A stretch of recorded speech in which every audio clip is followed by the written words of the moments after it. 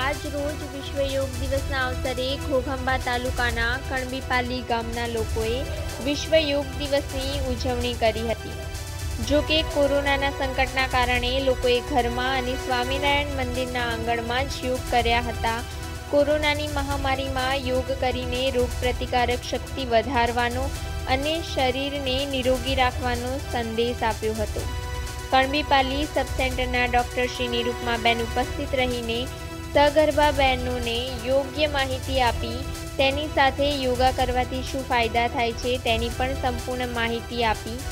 તેમજ દરેક લોકોએ રોજ યોગા કરવા જોઈએ તેમ પણ કહ્યું હતું. તથા આશા વર્કર્સ તેમજ આંગણવાડી કાર્યકર તેમજ ગામના નાના બાળકો પણ ઉપસ્થિત રહીને યોગા પણ કર્યા હતા. રિપોર્ટર નિલેશસિંહ સોલંકી ઘોઘંબા પંચમહાલ. પંચમહાલના હાલોલના સિદ્ધિવિનાયક સોસાયટીમાં ગઈકાલે સાંજે એક કોરોના પોઝિટિવ કેસ આવતા સોસાયટીમાં ગભરાટ ફેલાયો. પ્રાપ્ત માહિતી મુજબ ગઈકાલે હાલોલમાં ટોટલ પાંચ કેસ પોઝિટિવ આવ્યા. પ્રથમ કેસ હાલોલ નગરમાં આવ્યો, ત્યારબાદ બપોરે અરાદ રોડ ખાતે જયંતિ પાર્ક સોસાયટીમાં રહેતા બે સગા ભાઈનો રિપોર્ટ આવ્યો પોઝિટિવ.